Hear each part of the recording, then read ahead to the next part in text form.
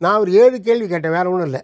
முதல் கேள்வி திமுகவும் அண்ணா திமுகவும் காசு கொடுத்து தான் வா- வாக்கு வாங்குறான்னு நோட்டோவுக்கு போட்டாங்களா அஞ்சு லட்சத்தி முப்பதாயிரம் வாக்கு. அந்த அஞ்சு லட்சத்தி முப்பதாயிரம் ஓட்டை நம்மளால் ஏன் வாங்க முடியலன்னு கேட்டேன். நால்வரணி கூட்டணி. ரெண்டாவது வந்து நாலு வார்த்தை பேச தெரியாத அண்ணன் விஜயகாந்த் போன்றவர்களை இப்போ ஆரம்பத்தில் முதலமைச்சர். முதல் ஆரம்பத்தில் முதலமைச்சராக அறிவிச்சதால மக்கள் மத்தியில் நமக்கு அந்த செல்வாக்கு கிட்டலை. பின்னடைவு ஏற்பட்டு பின்னடைவு ஏற்படுத்து.